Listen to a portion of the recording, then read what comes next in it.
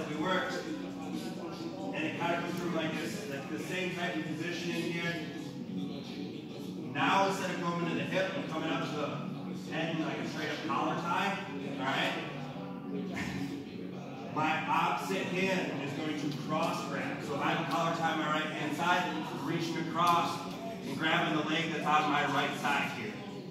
All right. So I'm in this position here, and a lot of times in this collar tie, I'm pushing into them scoop up under the leg. And now I'm going to pull down his head as I pull his leg, all right? As I pull his leg, my left leg opens. And again, it's kind of that top motion that I'm pulling down on this guy. So here, like and a lot of times too, like so I'm in here, boom,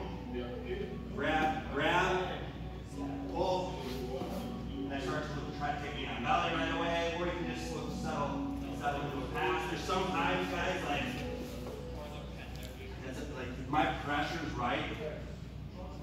It's like really weird at how much you can spin somebody through. There's actually a lot of times I'll hit this and almost spin somebody all the way back around.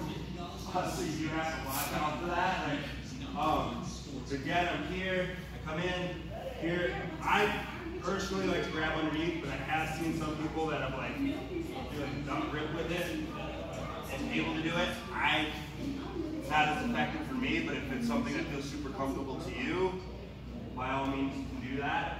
Um, and what you find is, is like these first two work really well together.